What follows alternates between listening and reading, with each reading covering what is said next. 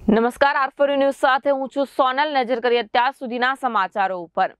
અરવલ્લી જિલ્લાના ભિલોડાના ખોડંબા પાસે નીલગાયનો પુરુષ ઉપર હુમલો કરાયાની ઘટના સામે આવી હતી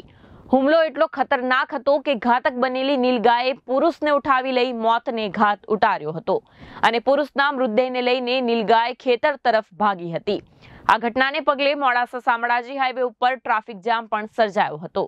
Jaydeep Bhatia R four news Aravalli